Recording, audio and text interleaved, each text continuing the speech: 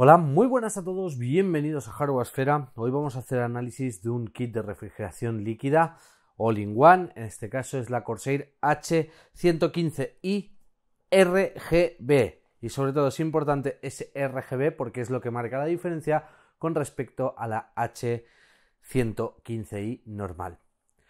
Pero antes de nada me gustaría deciros que en la descripción del vídeo tenéis un link al sorteo que estamos haciendo de esta tarjeta gráfica, que en este caso es una Aorus 1080 Ti Gaming y que va a ser un sorteo internacional o worldwide, es decir, al mundo entero. Y nada chicos, os dejo ahí en, en la descripción del vídeo el link para que todos podáis participar y que tengáis suerte.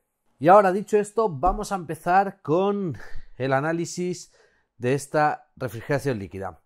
Esto va a ser bastante sencillo.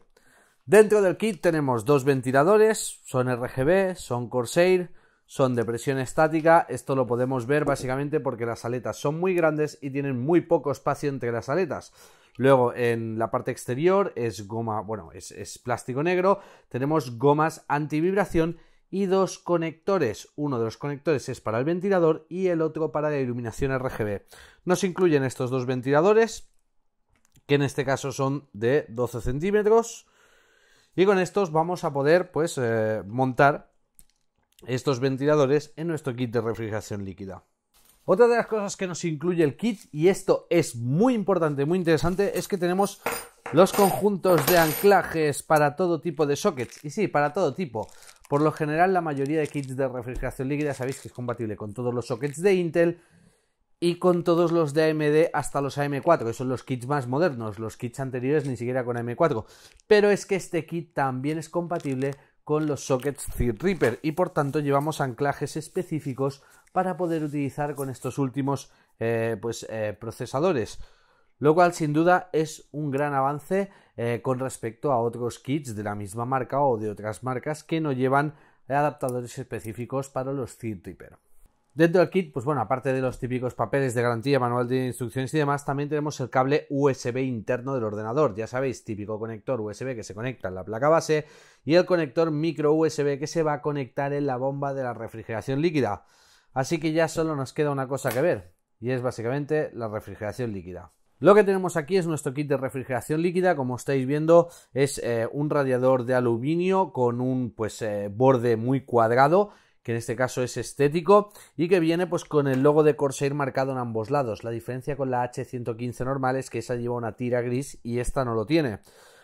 Bueno, poco más hay que decir del radiador, doble unidad, 120 centímetros cada ventilador, luego va unido por unos tubos que van mallados, van mallados eh, hacia la bomba, estos tubos son fijos, con tacones fijos, no hay movimiento, vamos a echarle un vistazo a la bomba, con respecto a la bomba, lo primero que voy a decir es que los tubos que vienen del radiador son movibles, es decir, tienen cierta holgura para que podamos moverlos a derecha e izquierda. Esto ya es algo habitual.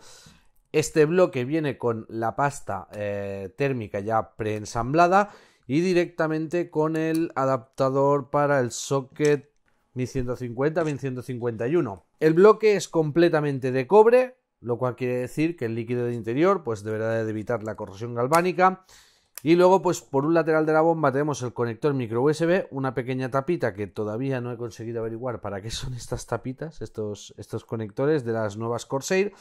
Y luego tenemos el bloque que a diferencia del H115 normal, este viene en negro cuadrado con el logo en el interior y con un borde que se iluminará en RGB. ¿Por qué este kit se llama RGB? Bueno, básicamente habéis visto que los últimos kits de Corsair todo se controla mediante el cable micro USB. Y cuando me refiero a todo, me refiero a que se controla como un kit. Desde el software de Corsair, desde el IQ, se controla como un kit. Tenemos un cable que sale directamente desde la bomba y que lleva el sensor de velocidad para la placa base y un adaptador SATA para alimentarlo. Luego habrá que conectarle también el, el USB, el micro USB al USB de la placa. Luego tenemos otro cable donde nos incluyen dos cablecitos, dos conectores de 4 pins PWM para conectar los ventiladores y de esa forma poder controlar la velocidad de los ventiladores, algo ya normal. Y por último, este kit trae algo nuevo y es que son otros dos conectores. Uno y dos. Eh, ¿Qué son estos conectores? Pues bueno, básicamente son los conectores que debemos de conectar a la iluminación de nuestros ventiladores. Es decir, nuestros ventiladores tendrán que conectar aquí la iluminación y aquí lo que es el ventilador en sí. De esta forma podremos controlar la iluminación de este conjunto como si de un solo bloque se tratase. Esto es algo nuevo porque en las refrigeraciones anteriores de Corsair tenías que controlar los ventiladores por un lado y, eh, o sea, la, iluminación de los ventiladores por un lado y la refrigeración líquida por otro. Ahora, gracias a esto, vamos a poder hacer pues ciertos ajustes un poco más interesantes. Pero bueno, chicos, yo creo que va siendo hora de montarlo, probarlo y aparte de ver pues estéticamente la mejora que ha tenido, por supuesto también podamos ver eh, el rendimiento o el desempeño de este kit de refrigeración líquida en nuestro equipo de pruebas. Así que nada chicos, vamos a pegar un montaje y luego ya hablamos de un poco de estética y pues temas de eficiencia en cuanto a refrigeración se refiere. Durante la review cuando, o el unboxing, como queréis decirle, de esta refrigeración líquida, he cometido un pequeño error. Os he dicho que son ventiladores de 120. Y ahora que estaba desmontando este equipo para hacer todas las pruebas de temperatura y para que veáis un acabado final de cómo ha montado, os digo, aquí tenemos la Corsair H110 RGB, que básicamente es la última que nos enviaron los chicos eh, de Corsair, H100i Pro RGB y aquí sí que podemos ver una diferencia. Bueno, básicamente el bloque es eh, redondo, en este caso es cuadrado y algo más grande para adaptarse a los Street Reaper. Aquí tenemos un radiador de doble unidad y 120, no sé si lo llegaréis a ver, y el de la 115 es de 140, es decir, doble unidad de 140. Por lo tanto, será mucho más eficiente tanto en los ventiladores como en el radiador, que serán más eficientes de esta nueva refrigeración líquida. Solo quería puntualizar esto porque, bueno, es una pequeña patillada que, he metido durante la review. Y ahora sí, voy a seguir con el montaje, os dejo un poquito en time lapse y, y vemos a ver qué tal queda y pruebas de temperatura. Retiro este y montamos el nuevo.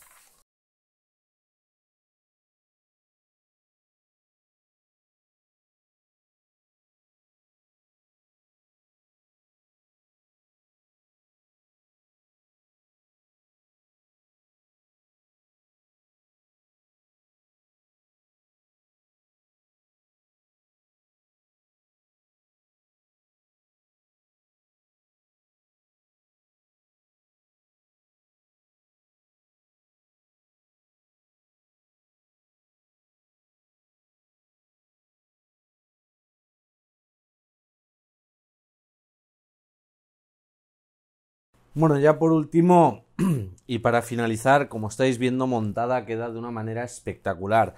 Podemos desde el mismo software de Corsair pues controlar los diferentes tipos de iluminación, efectos, en este caso se combinan tanto los de los dos ventiladores con el de la bomba, lo cual quiere decir que es como un solo conjunto de iluminación RGB que al mismo tiempo es completamente digital. Lo podemos ver en cosas como el secuencial, perdón, como el secuencial no, como eh, el arco iris, en el cual podemos apreciar que los ventiladores, cada una de sus cuatro zonas se ilumina y también lo hace el bloque.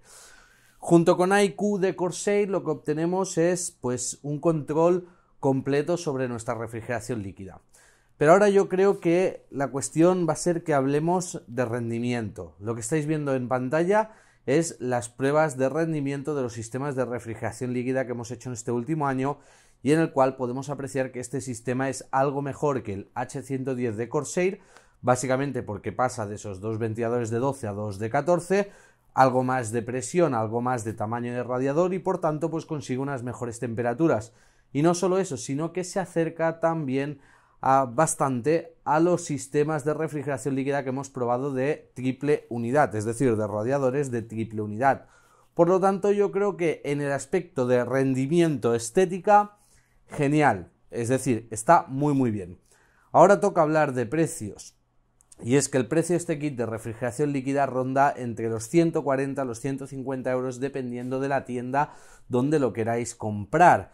Y la verdad es que el precio es algo elevado, pero es lo que siempre os digo. Si ya utilizáis otros accesorios de Corsair, como en este caso, que es caja, memoria RAM, todo el conjunto de Corsair, pues sí que es recomendable comprarlo porque solo tenéis que utilizar un software de control. Eh, si no, pues hay otras opciones eh, que a lo mejor os pueden interesar más. Pero yo sigo creyendo que el resultado de esta refrigeración líquida, teniendo en cuenta que es una caja de frontal cerrado, está siendo bastante buena. Aunque lo que habéis visto en el cuadro de rendimientos se ha hecho en el i7 4770K, que es donde se hacen todas las pruebas de todos los disipadores. Ya está chicos, no hay nada más que decir, espero que os haya gustado el vídeo, si, si, ya sabéis que podéis apoyarlo con un like, compartirlo en las redes sociales o por supuesto suscribiros al canal para más vídeos. Esto ha sido todo, con esto me despido y hasta el próximo vídeo.